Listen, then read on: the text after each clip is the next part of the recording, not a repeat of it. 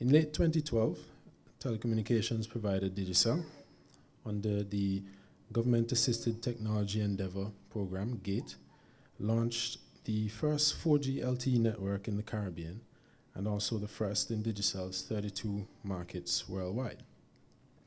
This spawned a program, the ICT Cadet Program, that would target young school leavers and give them the opportunity to work alongside the hardware technicians, the network technicians, the new media team, and the Connect Antigua Barbuda Initiative team under the Ministry of Telecommunications. This would equip them with skill sets that would make them globally competitive and gear their minds towards entrepreneurship. GATE's mission is to develop the intellectual capital of the people of Antigua and Barbuda through the use of structured training in the technological and creative industries, to build knowledge-based society driving entrepreneurship and innovation, making more opportunities accessible to more people. The Organization of American States says that a knowledge-based society refers to the type of society that is needed to compete and succeed in the changing economic and political dynamics of the modern world. It refers to societies that are well educated and who therefore rely on the knowledge of their citizens to drive the innovation, entrepreneurship, and dynami dynamism of that society's economy.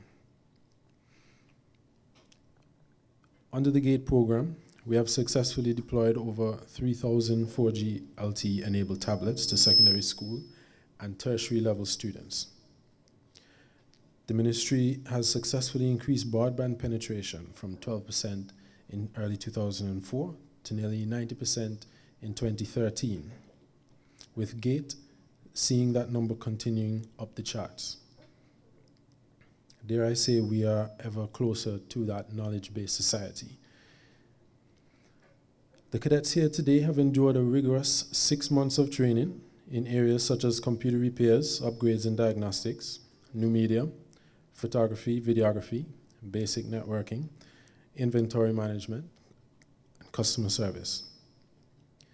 These cadets have taken the first steps in making themselves and Antigua and Barbuda more competitive, and they can be proud of what they have achieved thus far.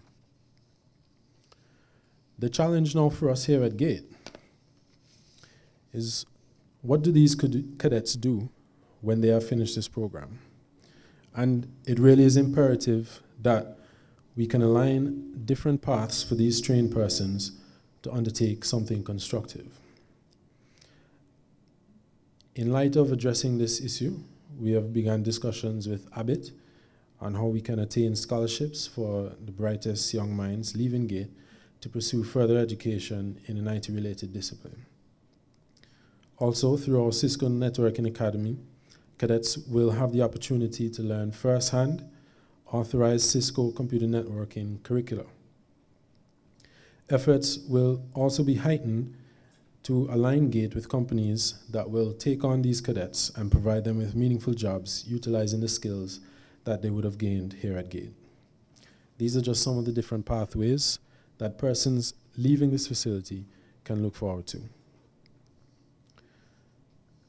I'd like to end here on a quote from Nelson Mandela Everyone can rise above their circumstances and achieve success if they are dedicated to and passionate about what they do. I urge you cadets to continue the dedication and passion that you have shown here at GATE.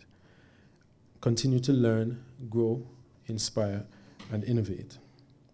Con congratulations to you all for completing the program given all the ups and downs that we may have faced during the time here. And may you continue to be successful going forward. I'd now like to invite Honorable Melford Nicholas for some brief remarks.